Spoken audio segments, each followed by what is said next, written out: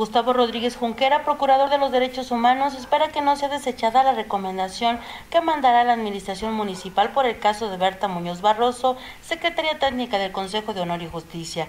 Y para prevenir que ésta sea evadida, la queja estará sustentada con el fin de que sea acatada por la actual Administración Municipal.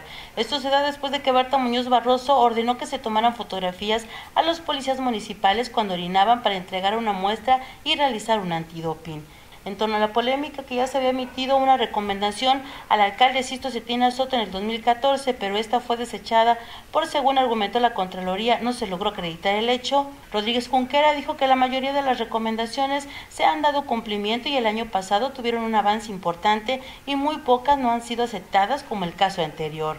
Hemos tenido más del 95% de recomendaciones aceptadas y al corte de diciembre de 2014 tuvimos más del 52% de recomendaciones aceptadas y cumplidas en su totalidad.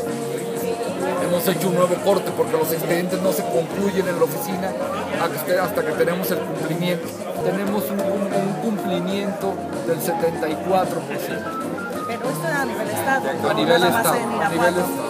Añadió que en el 2015 de los 754 expedientes de queja que han abierto en el estado, 56 corresponden en contra de la Policía Municipal de Irapuato, de los cuales 26 recomendaciones son por el uso indebido de la fuerza pública, detención arbitraria y lesiones. Edith Domínguez, Zona Franca.